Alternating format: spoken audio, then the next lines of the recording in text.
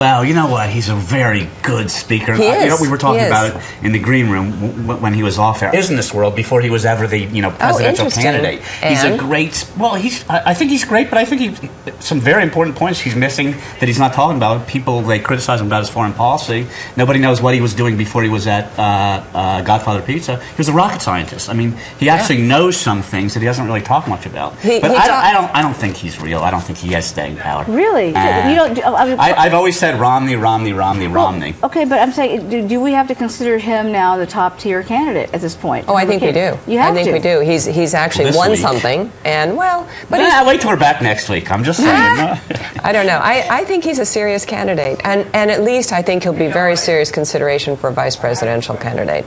Um, Well, I mean, his 999 plan is getting a lot of scrutiny right now. yeah, I, And- and I have to and- say, I wish I had a better understanding of that. For example, the nine percent sales tax is that on top of existing state sales taxes? So that's what's not. cl- I don't know. yeah, right. So in New York, we're all of a sudden paying seventeen percent sales tax. I don't know. Yeah, I but see, mean, that's a little bit of the problem of uh, being the great soundbite guy, because 999, everybody remembers it's a great soundbite. Meanwhile, nobody can describe what Yeah. it really is, though. well, I think I, I know what he's talking about, but I don't know how it works. So There are those who are concerned that it would really hurt uh, lower income people who would be paying uh, 9% sales tax uh, at a time when they can hardly afford to deal with the Yes, but of we have. course, the people who, those same people are lofting in the idea of a value-added tax Right. without any compunction whatsoever. So, uh, look, the answer is we need to raise revenue. At least some people think we need to raise revenue, and he's got a plan for doing it, but it's not fleshed out as far as I know. Well, thing, Um, but I, think what know. people find refreshing is that he has a plan. Yeah. He has something out there that he, to consider.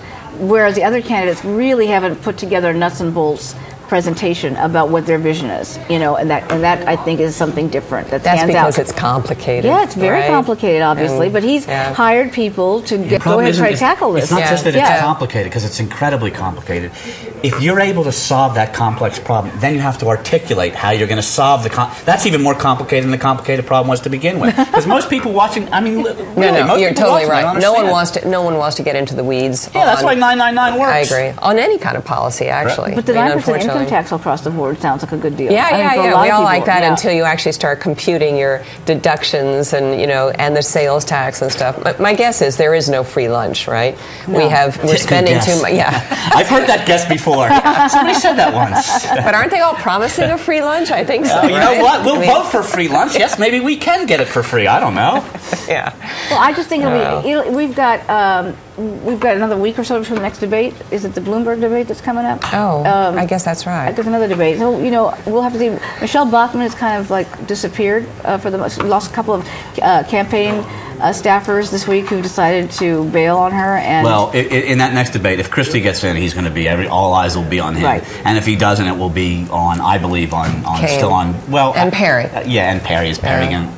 Will, will he be able to stay after the I, next I debate? think this whole uh, controversy about the Yeah, I wanna rock. ask- I mean, I I'm so bored with this. I Yeah. think it's so completely stupid. what, what do you think? Oh, I think it's stupid. Who uh, I honestly? mean, that's besides, I mean, the whole the whole idea of going back to 1983. Oh, I don't know. and, and, I and, mean- and talking about something that happened so long ago, a piece of land that belonged to his dad. Well, and no one And- seems to really know what it's all about Right. or what there, the there answers was a rock whatever. that wasn't a rock that was Yeah. here that wasn't mean- there that nobody saw that we might have seen. I, I don't know what. I mean, that's I have really, yet to see one like declarative thing about this quote unquote rock. I, I think what's much more important is that he really is not very articulate. He can't really come up with, you know, sort of well rehearsed, um, not only uh, proposals but answers to pe- to what people you know say about his time in, in, as a as a governor.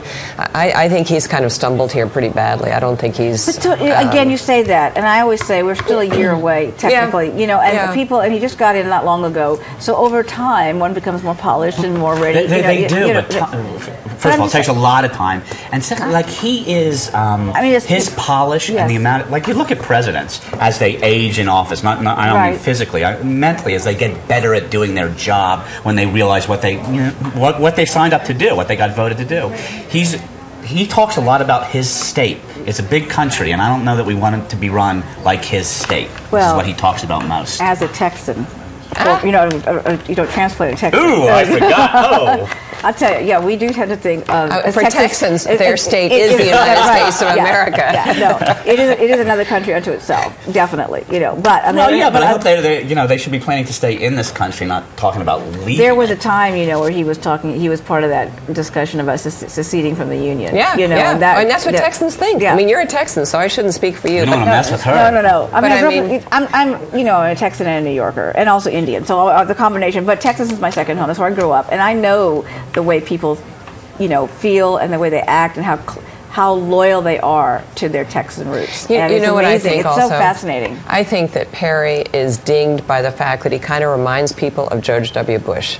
And even though there are a lot of Republicans out there who would say, bring him back, you know, today, given what's gone on in the last three years, the truth is, I don't think the country is ready for GWB two. You but know, is that really fair to you know? Uh, say no, that, not that, at that he's another you know that he reminds them of. of No, of but there are some Bush. similarities, you know, there gotta are some similarities. I mean, besides the accent, you know, Cowboy boots. the cowboy boots, and that type of thing. But um, as far Yeah, as but the country really. I mean, a lot of voters are, uh, you know, no disrespect to a lot of voters, but they're about as shallow as the cowboy boots. I mean, eh, that similarity, which has nothing to do with, with with the people or their policies. That's what everybody should know: is what are their policies? What do they stand for? That's why when somebody comes up with a plan and they'll actually articulate what the plan is, that, that's the kind of things we should be listening